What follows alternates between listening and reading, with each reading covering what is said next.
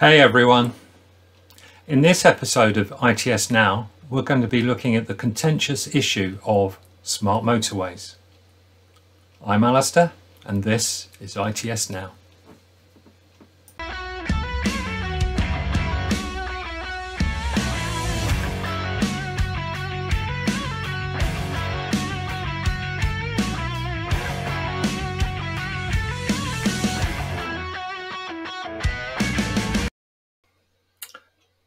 So, what makes a motorway smart? The days when it was possible to simply build additional highways or to widen existing carriageways to tackle congestion by increasing capacity have largely gone. Therefore, more innovative and environmentally balanced solutions are required. In addition, due to the physical constraints that are often present next to motorways, it offers a means to increase capacity when it would be prohibitive to extend beyond the current highway boundary. In England, a smart motorway is a section of motorway that uses intelligent transport systems, ITS, features to deliver improved journey time reliability through reduced congestion at lower cost and with less environmental impact than conventional widening programs and without negatively impacting the safety performance. This is a technique, therefore, to increase capacity on a section of motorway by using technology to actively manage traffic flow. Currently in the UK, there are three variants of smart motorways. The original version made use of uh, extra capacity of the hard shoulder during times of congestion or incidents, referred to as dynamic hard shoulder. All lane running, ALR, where the hard shoulder is replaced with a lane of traffic and emergency refuge areas are provided for breakdowns. Controlled motorways, CM, which use the technology to actively manage traffic but retain a hard shoulder.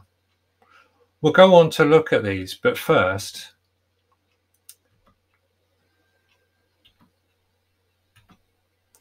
I can't go further without discussing the unprecedented level of press coverage that smart motorways have had over recent years in response to fatalities which have occurred on different types of smart motorways. There's been a lot of controversy about their perceived risk they pose to users in the event of a breakdown or accident, especially around all lane running implementations. In response to this growing level of pressure, the Transport Secretary has paused new smart motorways from being built whilst a safety review is carried out. Ministers will then only decide whether to proceed with further schemes after five years of safety data has been collected from the existing smart motorways. In the meantime, all deployments will be equipped with stop vehicle detection and emergency refuge eh, uh, provision will be reviewed. The first implementation of a scheme in the UK was the M42 junctions 3A to 7 Active Traffic Management ATM project, which commenced full operation in September 2006. The key aspects of the ATM implementation were the use of variable mandatory speed limits, VMSL, the dynamic use of the hard shoulder during periods of congestion or incidents, the provision of dedicated emergency refuge areas, ERAs, for use when vehicles break down, the installation of gantries with signals and variable message signs, VMS. Here we can see one of the publicity pictures from the time showing the features associated with the ATM scheme. The project implementation was phased, introducing the variable mandatory speed limits, initially using the three permanent running lanes. Once the public were familiar with the concept of the VMSL, the dynamic use of the hard shoulder was then introduced. Therefore, during periods of congestion or incidents, the hard shoulder is open to traffic to provide four running lanes, with variable mandatory speed limits being used to smooth the traffic flow. This operation is referred to as 4L VMSL. During normal operation, the hard shoulder is therefore not used by traffic and is available for breakdowns, and the dynamic use of the lane can be suspended in the event of an incident occurring. During 4L VMSL, traffic congestion and the speed differential between lanes are reduced, along with a higher occurrence of free driving conditions. That means the headways between vehicles are greater than five seconds resulting in improved levels of safety. Additional benefits include a slight reduction in noise levels and vehicle emissions due to the smoother driving. Surveys revealed that users perceive lower levels of congestion, that they could plan their journey times more reliably, and that they found the section to be easier to drive on.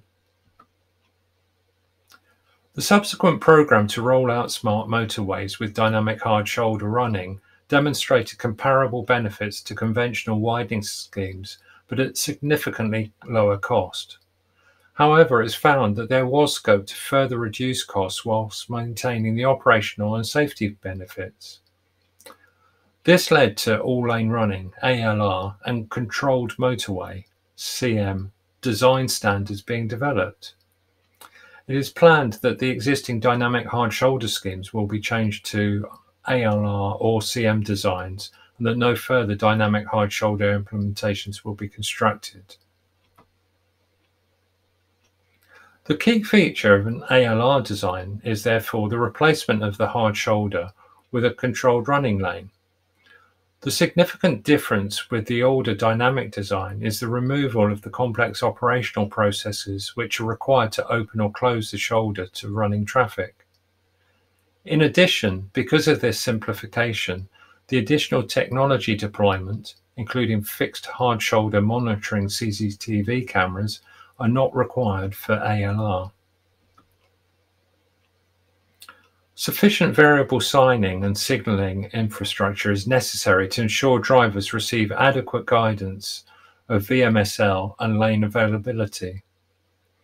Verge-mounted cantilever VMS, rather than utilizing lane-specific signals on every gantry, provides significant savings whilst not compromising user comprehension, although lane-specific signals are provided at the start of each link, at intermediate gantries on longer links, locations with more than four lanes, and where complex road layouts, such as near junctions, require additional clarification. Because of the retention of hard shoulder in controlled motorway deployments, additional features such as ERAs are not required, but the schemes achieve significant operational benefits that the technology infrastructure provides, but without the issues associated with the removal of the hard shoulder.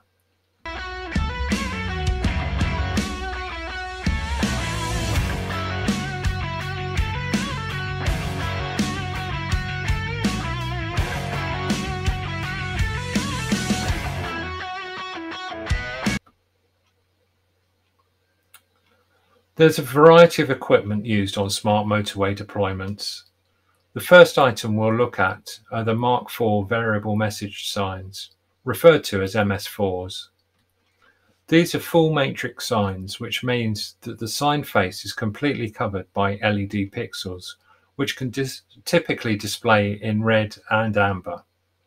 This provides the benefit of not only displaying text, but also being able to display graphical elements known as pictograms to concisely convey information to drivers. This example shows a typical message set with a pictogram, speed roundel, and text information. Advanced motorway indicators, or AMIs, are smaller signs which provide information to specific lanes of traffic. These are mounted centrally over each lane on a gantry structure. The central matrix is used to convey variable mandatory speed limit information or lane closure arrows and red X's. Around this, a, round, a red roundel is displayed to indicate speed limits below the national limit are mandatory. The AMIs are also equipped with a flashing amber beacon in each corner. CCTV with full pan tilt zoom (PTZ) capability and night vision are used to provide a comprehensive coverage of smart motorways. These are normally mounted on dedicated columns as well as on gantry structures. These provide operators within the Regional Operations Centre visibility of what is happening on the carriageway so that they can confirm issues or make the most appropriate actions in response to incidents.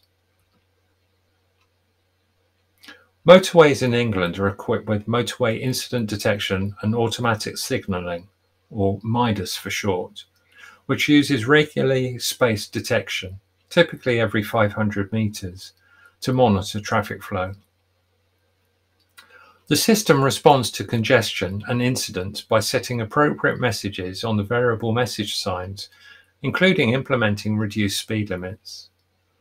The majority of MIDAS sites use pairs of inductive loops in each lane to detect a range of parameters about passing vehicles, including their presence, speed, and headway between vehicles.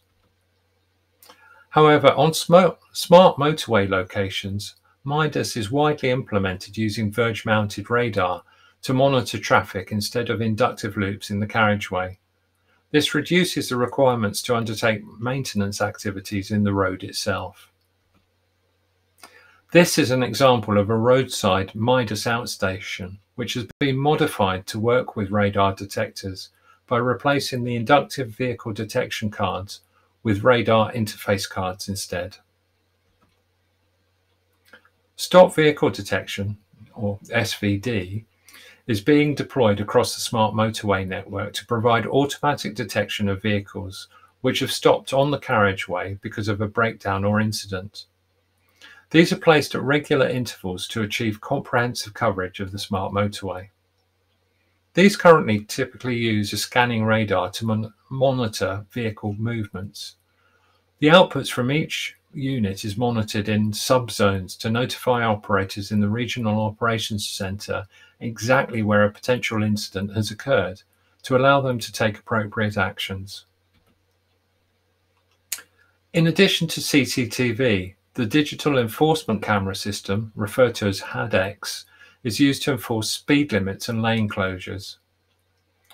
Older generations of enforcement cameras used individual cameras for each lane, but modern systems cover all lanes with a single unit. The camera housings are normally installed on the side of gantry legs and view the back of passing vehicles. An additional camera is located upstream of the enforcement zone. This is used to provide confirmation of the AMI display on the evidential pack, which is generated in the event of a misdemeanor being detected. These systems can enforce during periods of VMSL and when at national speed limit. In addition, the very latest authorization can now also enforce red X's as well. Emergency roadside telephones, ERTs, are provided to allow users to communicate directly with operators at the Regional Operations Centre to summon assistance. On all lane running and dynamic hard shoulder smart motorways, the ERTs are located in emergency refuge areas, ERAs. On controlled motorways, the ERTs are situated next to the hard shoulder. The power and communications infrastructure is fed through underground ducts to access chambers. The power distribution at this site is via the 609 cabinet on the left, whilst the AMI, MS4 and CCTV outstations are housed in the 600 cabinet on the right. Accessible full-span gantries on the main line have been used to mount equipment including AMIs, MS4s and CCTV cameras. The scale of these gantries only really becomes apparent when you get inside them. The operation of the strategic road network, including smart motorways in England, is controlled from the National Highways Regional Operations Centres. The operators at these centres actively monitor what is happening on the roads and take appropriate action in response to incidents.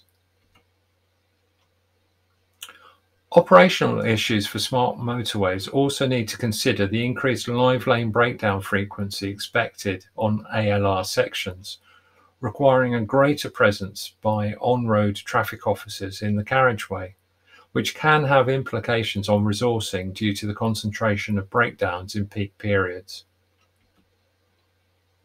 Ensuring safe maintenance access provision without a dedicated hard shoulder does introduce certain challenges on ALR sections, where lane closures will be required to undertake a range of tasks. To improve safety and the efficiency of these operations, a maintenance access vehicle, MAV, has been developed to undertake rapid AMI replacements on non-accessible gantries.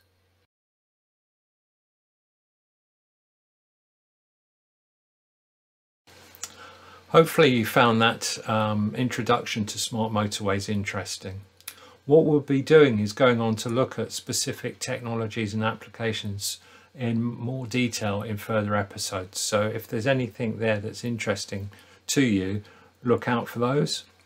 I'd also really like to take the opportunity to thank everyone for the amazing feedback that uh, we've been getting about the series.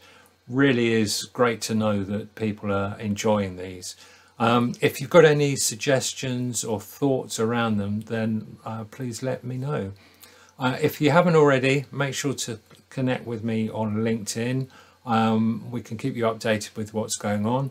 If you can also uh, like and subscribe to the channel uh, here on uh, YouTube, it would be really good for us as well. Anyway, see you next time.